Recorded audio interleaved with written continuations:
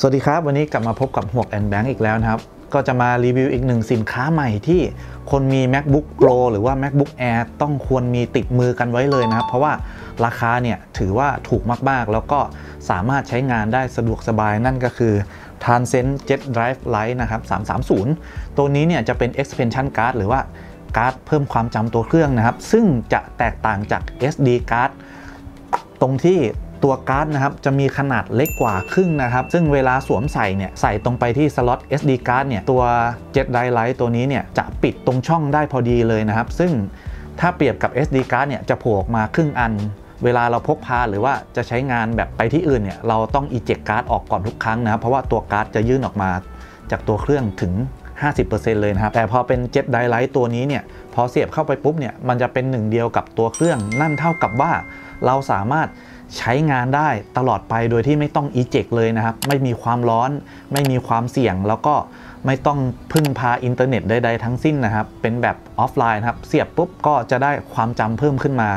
ตามรุ่นที่เราซื้อเลยนะครับ เริ่มต้นเนี่ยก็จะอยู่ที่พันกว่าบาทที่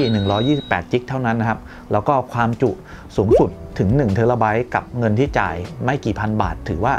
คุ้มค่ามากๆนะครับ วิธีการใช้งานเบื้องต้นนะครับ ก็คือสำหรับ MacBook รุ่นที่ support นะครับหลักๆ ก็จะเป็น MacBook Pro Retina นะครับ MacBook Air ปี 2010 ถึง 2017 แล้วก็ MacBook Pro ที่เป็นชิป M1 Pro M1 Max นะครับ ตัว 14 นิ้ว แล้วก็ 16 นิ้ว ก็จะมีสล็อตเป็น SD card ด้านข้างนะครับ วิธีใช้งานก็แบบนี้เลยนะครับ ตรงรุ่นเลย ง่ายๆ เสียบปุ๊บ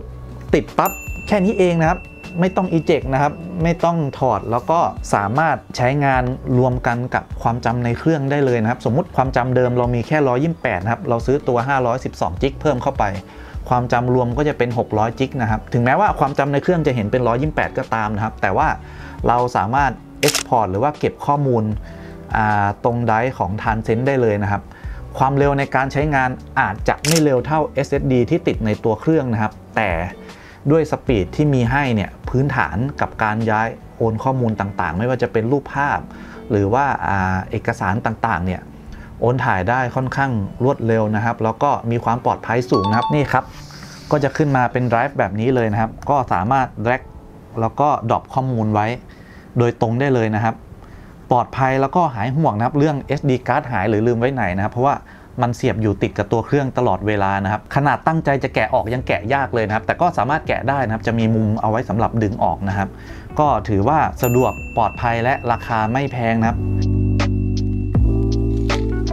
ก็สรุปเลยแล้วกันนะครับ ถือว่าดีและน่าใช้มาก ๆ นะครับสำหรับใครที่ใช้ MacBook Pro MacBook Air รุ่นที่มีสล็อตเสียบ SD card เนี่ย แล้วเคยเจอปัญหากับการเสียบ SD card หรือว่า flash drive เนี่ย เพราะว่าเวลามันยื่นออกมาเยอะเนี่ย เวลาไปโดนหรือว่าขยับเนี่ย มันก็จะ eject อัตโนมัตินะครับ ซึ่งตัว Transcend Jet Drive Lite ตัวนี้เนี่ย จะออกมาแก้ปัญหาได้ตรงจุดแล้วก็ใช้งานแบบเฉพาะทางมากกว่านะครับ ถือว่า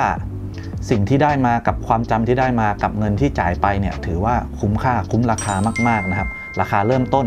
พันกว่าบาทเท่านั้นนะครับ ใครที่ อยากได้ความจุเพิ่มโดยที่ไม่ต้องแกะเครื่องแนะนำมาก ๆ เลยครับผมครับก็ฝากติดตามกดไลค์กดแชร์เช่นเคยนะครับ ไว้เจอกันอีกทีในคลิปหน้า สวัสดีครับ